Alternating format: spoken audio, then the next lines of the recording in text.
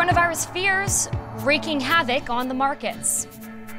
What's happened this time is we have multiple points of uncertainty, and that is really problematic for investors.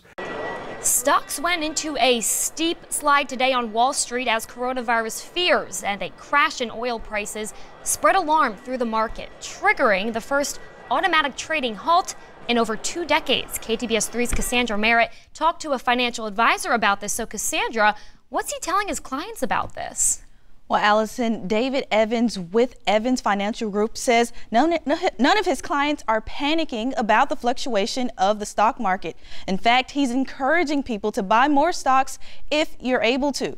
Gas prices are getting low too after Saudi Arabia started a price war with Russia. Now, this is good news for consumers, but bad news for suppliers as they are losing money, which may eventually lead to layoffs. Centenary economics professor David Hoaas says this, along with the presidential election and the coronavirus, is affecting the stock market right now.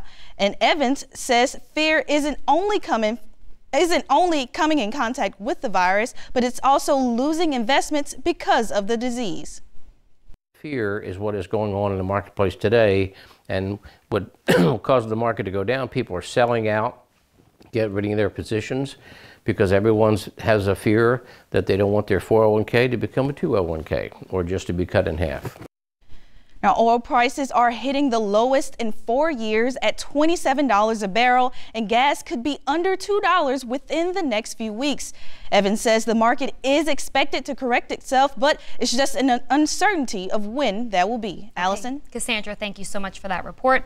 Experts also saying this has been the worst week in the stock market since the start of the 2008 recession.